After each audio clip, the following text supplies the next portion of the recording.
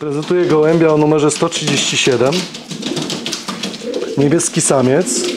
Dwa pióra ma do zrzucenia. Gołąbek ten wywodzi się z y, gołębia 3509, y, który pochodzi z gołębi Hoyemansa oraz Mullera. Y, No, rewelacyjny gołąb rozpłodowy, jeżeli chodzi o, o jego ojca, który naprawdę sporo fajnych gołębi jest na moim gołębniku, które szpicowo siadają.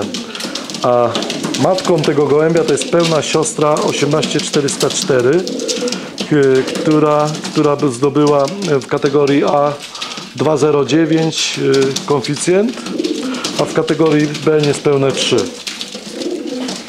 Osiadając pierwsza, pierwsza, druga, czternasta, trzydziesta pierwsza, trzydziesta szósta, trzydziesta dziewiąta, dziewięćdziesiąta czwarta. Także naprawdę bardzo szpicowe konkursy.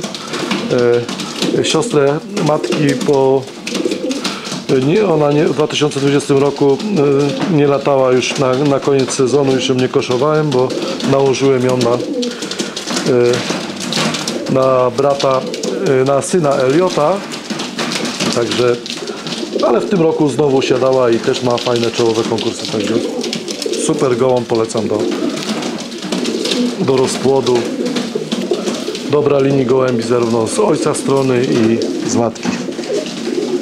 Przede wszystkim szybkich gołębi.